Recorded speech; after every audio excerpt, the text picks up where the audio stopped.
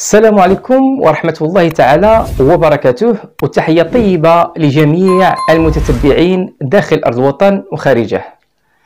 في الفيديو بغيت نتكلم معكم على المونديال والأجواء ديال المونديال أو المناخ اللي كان فيه هذا المونديال هذا. وبغيت نتكلم معكم أيضا على شي حوايج اللي لاحظناها واللي اكتشفناها وشي حوايج اللي خصنا نحتاطوا منها حنا كأمة عربية أو أمة إسلامية. فنبداو على بركة الله. أول هام واش المغرب كان بإمكانه أنه يفوز بكأس العالم؟ الجواب نعم. ماشي كان بإمكانه وإنما كان غادي يفوز بكأس العالم نظرا المستوى اللي ظهر به الناخب الوطني المغربي. فكانت كفاءة كبيرة. ما كانش عند لاعب واحد وإنما كانت ديال جميع اللعابة اللي كانوا في المنتخب كلهم كفاءات عالية ولله الحمد. اللي ما غتكونش أو ما كانتش عند باقي الفرق الكبرى اللي كانوا كيراهنوا على النجم ديالهم الأوحد أو الوحيد. بينما في المغرب كانوا كلهم نجوم. وهادشي لاحظوه المحللين الرياضيين والناس المحايدة واللي كتفكر بعقلها. ماشي كتفكر بالحقد وبالظلامية. هاد الجانب ندوزوه. واش المونديال فيه الشفافية وما فيش المحسوبية وما فيش الكولسة المونديال ما فيهش الشفافية وما فيش العدل وإنما فيه المحسوبية والكولسة والتخطيط على شكون اللي غيفوز بكأس العالم قبل ما يوقع كأس العالم أو يتلعب كأس العالم. وهذا كان بشهادة ديال كبار الرياضيين أو الأبطال اللي منهم اللي مشى من هذا العالم ديالنا. سبيل على سبيل المثال دييغو مارادونا اللي كانوا سولوه فواحد الفترة شكون اللي غيدي كأس العالم وقال لهم سولوا الفيفا. لكن هادشي بان لينا.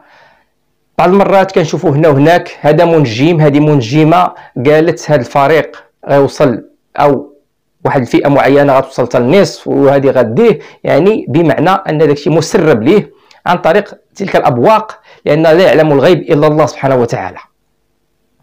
فكما الخبر اللي تنشر وهو كنا شافنا بعض الفروق العربية أنها شاركت.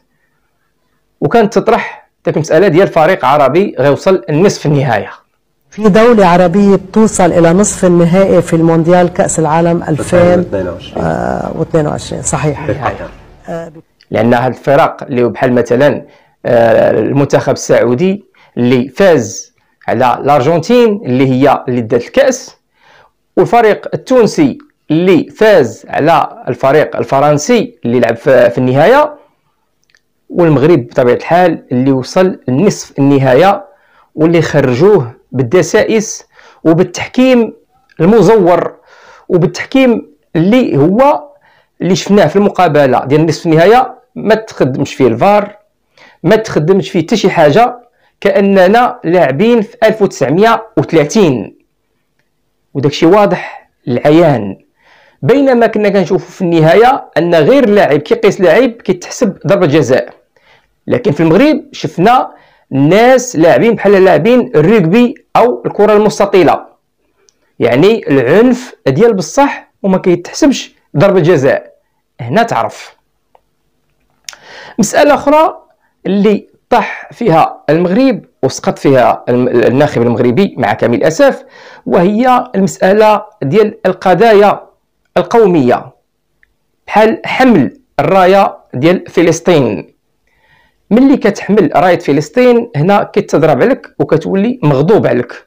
وهذا الشيء شافناه في بعض اللعابة اللي كانوا كيساندوا داخل المضمار الرياضي أو داخل الملعب الرياضي مجرد أنه كيوحي القضية الفلسطينية إلا كيتم البتر ديالو من لعبة كرة القدم.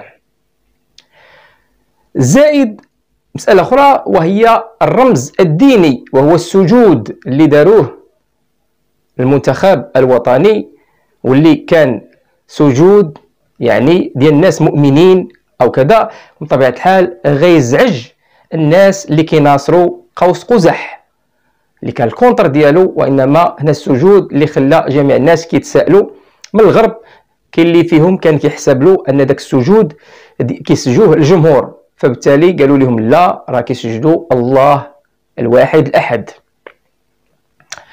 على اي نخرجوا من هذا الباب وندخلوا الباب ديالنا اللي كيهمنا حنا كمغاربة.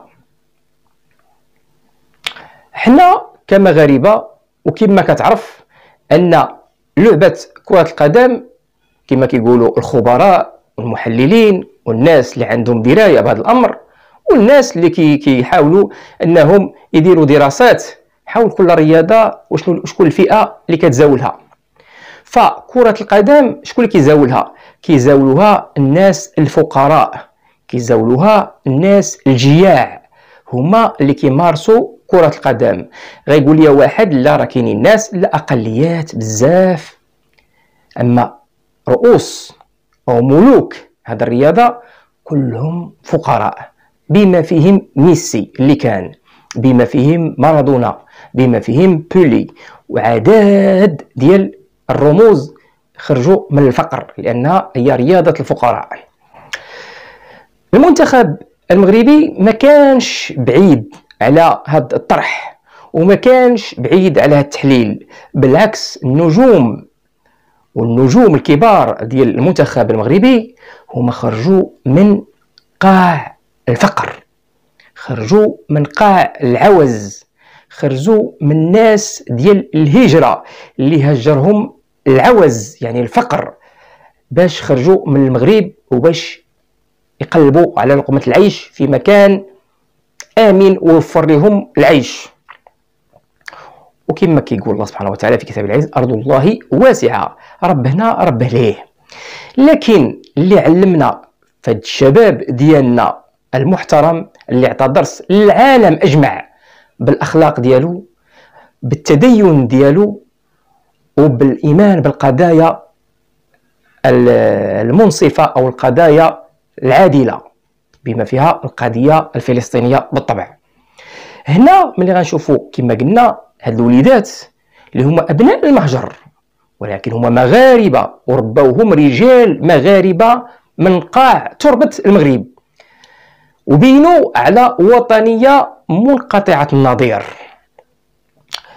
وهادشي ماشي مبالغة لأن كيف يعقل أن إنسان كيشد مثلا 500 مليون 400 مليون 800 مليون وكيلعب على القميص الوطني بشكل سبحان الله. هذا ما باغيش فلوس غتعطيهم للجامعه واخا تعطي تطعيم ما تعطيش هاد المبالغ اللي كيشدها هو في الشر. هي مبالغ ضخمة للغاية. ولكن كيدافع على القميص الوطني. اذا شكون هادو اللي ربحوا وشكون هادو اللي هدوا كأس العالمي أو العرش ديال المنتخبات؟ بل ازاحوا منتخبات أباطرة. هما ولاد الفقراء. هما ولاد الشعب. هما ولاد أبناء الهامش. لأن باواتهم نكرات. ماشي باه وزير ماشي باه برلماني ماشي باه رجل أعمال بل باه عامل أمه عاملة. من الطبقة الضعيفة الهشة هي اللي هزت الدرابو ديال المغرب. الطبقة العاملة الهشة هي اللي خلات الكل كيكليكي أو كيورك على الزر باش يعرف شكون هو Morocco. وفين جا هاد Morocco ولاد الفقراء ملي تحت لهم الفرصة وملي كانوا في واحد المناخ أوروبي اللي وفر لهم أنهم يبرزوا على المواهب ديالهم والقدرات ديالهم. في المغرب كاين الذهب. ملي كنقولوا الذهب ديال البشر ديال الأدمغة ديال الطاقات. ديال المواهب في جل الميادين. لكن كاين واحد الفيروس كاين واحد الميكروب كاين واحد الخبث ديال واحد الناس حاجمين على هاد, هاد الجواهر كيخليوها كتدبل وكتموت وكتغرق وكتضيع وهما دون المستوى.